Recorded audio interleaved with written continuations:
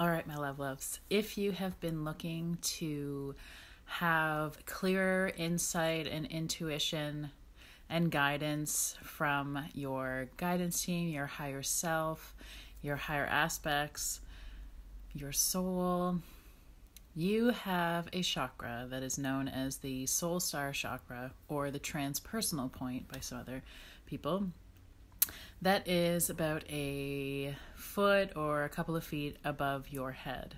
It is beyond the crown chakra and it is the point that connects you to the higher realms, higher wisdom, higher guidance, and higher uh, frequencies. It is what helps open you up to receiving all of that into your body, into your energy, into your consciousness, into your knowing.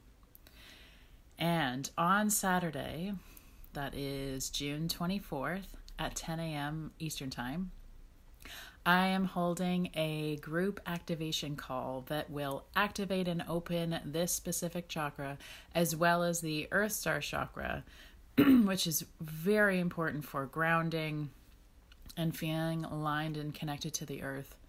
We're going to open and activate these chakras, and it's going to be really powerful. So come join me. The link is in my bio.